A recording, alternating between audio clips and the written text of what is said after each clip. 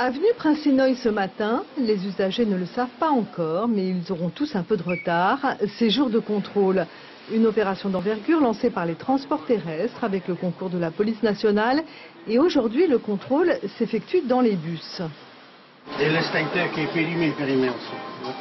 Tout est vérifié, l'état des pneus, la présence des équipements de sécurité et le taux d'alcoolémie des chauffeurs. On regarde visuellement euh, donc elle est taillée au niveau des yeux, au niveau également du, ressenti. Hein, lorsqu'on a consommé de l'alcool, il y a quand même une, odeur particulière qui se dégage. Donc c'est au vu de tous ces éléments-là que ben, l'officier de police ou de gendarmerie décide de la mise en place d'un contrôle euh, d'alcoolémie, voire même de stupéfiants.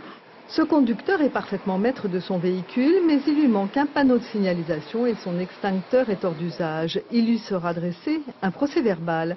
Sur cette ligne, d'autres conducteurs de bus seront également contrôlés, mais les passagers ne se sentent pas vraiment concernés. Je fais pas vraiment attention. La confiance Ouais. Il ne doit pas boire, le chauffeur. Ici, ce qu'il fait, il conduit la voiture. Vous avez toujours confiance? Ben oui. Vous n'avez jamais pensé que votre Non, chauffeur non, pouvait avoir bu Non, moi je vais, je, je m'inquiète pas. Pas d'infraction constatée, les chauffeurs risquent gros et ils le savent, surtout que la tolérance est encore moins élevée pour eux. À savoir que pour les chauffeurs de transport en commun, pour le taux, il est un peu plus bas que les citoyens normaux. Donc euh, pour eux, le- la contravention commence à 0,20 au lieu de 0,25. Quant au contrôle, ils seront encore plus fréquents à l'avenir. L'alcool au volant sera de plus en plus sévèrement réprimé.